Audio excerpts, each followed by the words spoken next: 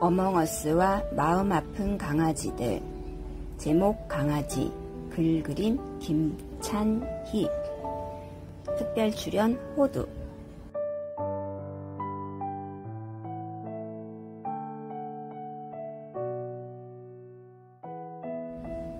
어느 날 어멍어스는 마음이 아파서 지구로 왔어요.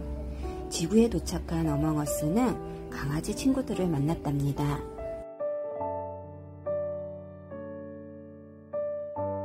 어멍어스가 병원에 갔는데 강아지 친구들도 많았어요. 강아지들은 버려지는 친구들이 너무 많아서 마음이 아파 병원에 왔대요.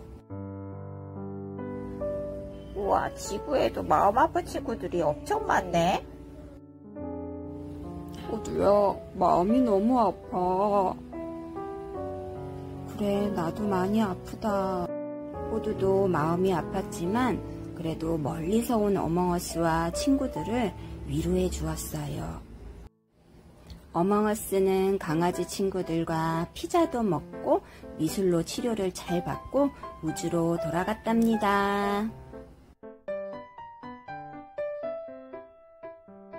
호두도 친구들 덕분에 마음의 위로를 잘 받고 행복하게 살았대요. 제 친구들이 마음 아프지 않게 도와주세요.